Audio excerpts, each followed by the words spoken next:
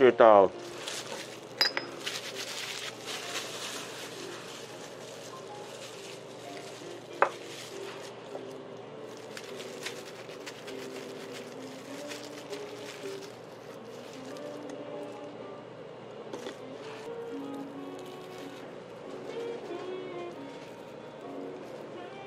네 묵은지 소스에 도미초밥 하. 원래 이런 오마카세 그러면 고급 음식으로 보고 있잖아요. 그런 이벤트를 하기가 쉽지 않았을 거예요.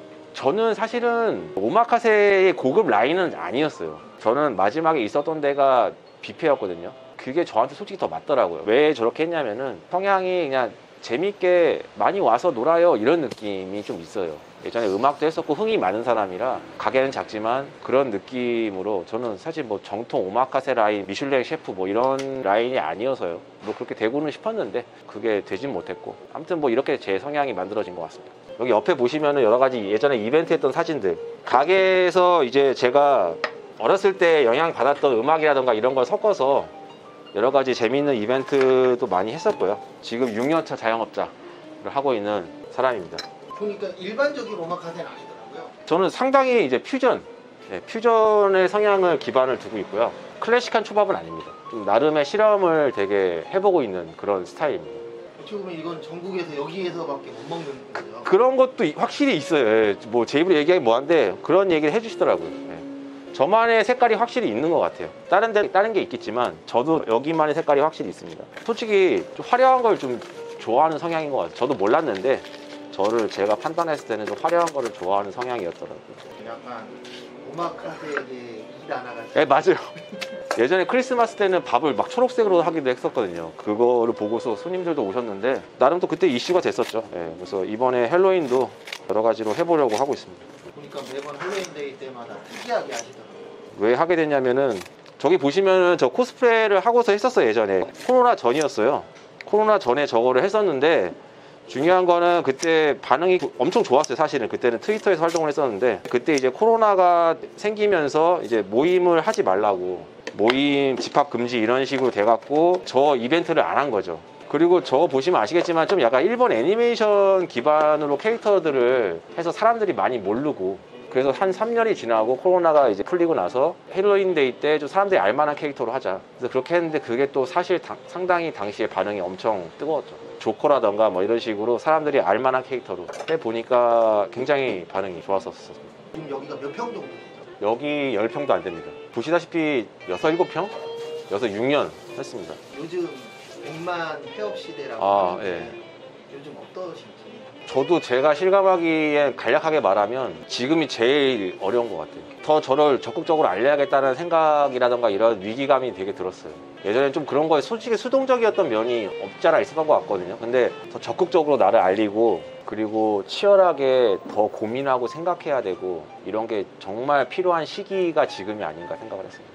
주변에서 이제 폐업하시는 거 많이 보셨잖아요. 어마어마하게 봤죠. 그 보실 때 어떠세요? 되게 기분이 안 좋죠.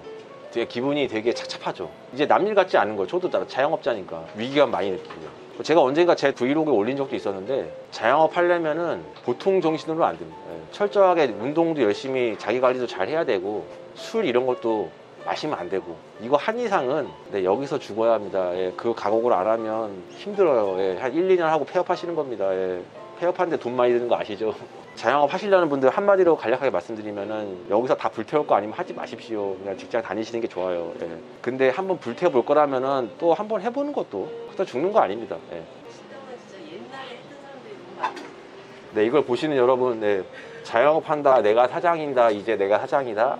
예, 그런 마인드 절대 안 됩니다. 정말 내가 여, 봐서 봐도 진짜 진짜 열심히 했어요. 고 있으면은 자식이니까 너무 안타까울 때가 있더라고. 너무 고생하니까. 근데 그렇게 했기 때문에 그냥 그래도 지금 이제 숨을 쉬고 살고 있는 겁니다.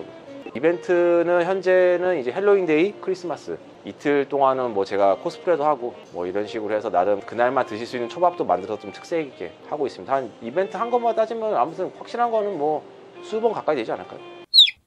일단 연어를 두 개 올렸습니다. 이 보이시는 초록색은 이제 최근에 이제 써온 건데요. 블루베리입니다. 블루베리가 지금 제철이기도 하고요. 블루베리 마요네즈 위에 단호박 무스, 단호박도 지금 제철이고요. 블루베리, 마요네즈, 단호박 무스, 오렌지, 꿀, 그다음에 어린잎, 그라나 파다노 치즈를 갈아서 샐러드 같은 느낌의 연어 초밥을 만들었고 옆에는 껍질을 살려서 구운 연어 타타키인데요. 위에 올라간 소스는 이제 파절이 소스. 그 삼겹살에 파절이 소스를 올려서 파를 듬뿍 넣어서 좀 맛을 더했고요. 옆에는 보시면은 이제 제 시그네처 중에 하나입니다. 민트 초코 계란 초밥. 계란 초밥을 빵 같은 느낌으로 접근을 해서 여기 보면 흑임자와 다크 초콜릿을 넣고 견과류와 민트 잎을 넣어서 좀 재밌게 바꿔보았고요. 옆에는 이제 관자 초밥인데요. 이 관자 초밥은 이제 카레 소스를 발라서 풍미를 좀 올렸습니다. 카레 소스와 이제 스리라차, 그다음에 그라나 파다노 치즈 역시 갈았고요. 사실 보면 상당히 약간 양식 같은 approach도 있습니다. 그렇게 있고 여기 보시면 요거는 이제 도미 묵은지를 갈아서 소스를 만들고요. 된장 소스와 할라페뇨를 넣어서 도미 초밥 이렇게 해서 간단하게 제 색깔을 한번 보여드릴까 합니다. 이거는 다른 데에서는 못 먹는 거죠. 그거는 확실하죠. 왜 이렇게 초밥을 하시죠? 간략하게 말씀드리면 만약에 내가 초밥을 먹는다면 이렇게 먹고 싶다를 제가 드리는 겁니다. 왜냐하면 초밥이 솔직히 올라가는 게 다 비슷하잖아요. 광어는 광어에서 밥 싸서 나가고. 저는 사실 그건 되게 재미없다고 생각을 했거든요. 저는 사실 음악도 되게 좋아하고 흥도 많은데 어차피 똑같이 광어인데 이렇게 바꿔서 나가면은 다른 맛이 있지 않을까? 재밌지 않을까? 에서부터 시작을 했어요. 나는 광어 이렇게 먹고 싶은데 뭐 이런 거를 드리는 거였죠. 근데 그 전략이 나름 좀 주요했어요. 그래서 뭐 좋아해 주신 분들이 계셨고 지금까지 제 색깔로 유지해 왔던 것 같습니다. 예전에 솔직히 좀 점심에도 있었는데요. 요즘은 확실히 더 줄은 건 사실이에요. 저녁 손님은? 퇴근하고 오시는 분들 저는 사실 저녁이 이제 메인이에요. 오마카세를 하게 된 이유가 있나요? 가게 스토리가 있긴 있는데 제가 사실 솔직하게 얘기하면 요리 안 하려고 했습니다. 요리를 다시 시작을 하다가 너무 힘들어서 그때 이제 음악을 다시 해볼 마지막으로 해보려고 그렇게 했는데 팀을 만들었어요. 팀을 만들었는데 그 팀 멤버들이 있을 공간을 좀 만들어주고 싶더라고요 제가. 그래서 그러려면 돈이 필요하지 않을까? 그러던 와중에 이 가게를 만든 제가 두 번째 주인이에요. 이 가게 사장님이 오마카세를 하고 계셨어요. 제 나름대로 계속 공부하고 나름 뭐 이제 좋게 연구도 하고 그런 시간을 거치면서 이런 식으로 제 스타일로 탄생을 하게 된 게 저희 오마카세죠. 그 멤버들을 위해서 어, 시작했다. 그 멤버들이랑은 사실 솔직히 이제 헤어졌어요. 6년 지났네요. 이- 뭐 혹시 보진 못하겠지만 한마디 해도 되죠? 내가 미안했으니까 한번 와줬으면 좋겠다. 너희들 얼굴 한번 보고 싶다. 형 지금까지 열심히 잘했다. 와서 그냥 술 한잔 줄 테니까 같이 얼굴 보면서 웃을 수 있으면 좋겠다. 마지막으로 네. 앞으로의 계획이. 너무 즐거운 경험이었고요. 설마 저도 이런 날이 또 올지 몰랐는데 정말 열심히 했습니다. 열심히 했고 계획이라는 게 내가 세워놓는다고 해서 그때 그대로 쭉 잘 밀고 나가지지는 않더라고요. 뭐든 다 중간에 시행착오도 있고 여러 가지가 있더라고요. 그래서 계획이라기보다는 현재 제 바램이나 소망은 이게 좀 더 커졌으면 좋겠어요. 그래서 좀 재밌는 이벤트라던가 이런 것들을 사람들에게 이제 저 전달해 주기 위해서 제가 있는 게 아닌가. 저 혼자의 멋에 취해서 옛날에 솔직히 어렸을 땐 그랬는데 제가 존재하고 더 빛나는 순간은 그런 거를 제 마음을 다해서 드렸을 때 손님들이 기뻐하시는 모습을 보고 그때가 제가 빛나는 순간이더라고요. 그걸 할 수 있는 공간이 좀 더 컸으면 좋겠다. 같이 즐기고 싶다, 느끼고 싶다. 나도 한번 즐기고 싶다. 그게 제 마지막 바램이 아닌가. 감사합니다. 예. 사당역에 있습니다. 예. 스시텐쇼라고 합니다.